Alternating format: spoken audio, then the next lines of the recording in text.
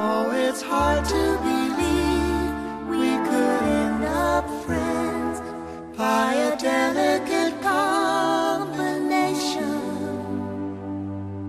A fear of the dark, belief in the snark, and intelligent conversation.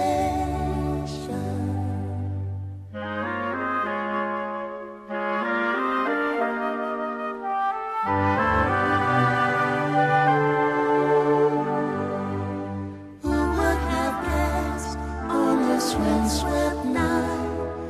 would balance the whole equation.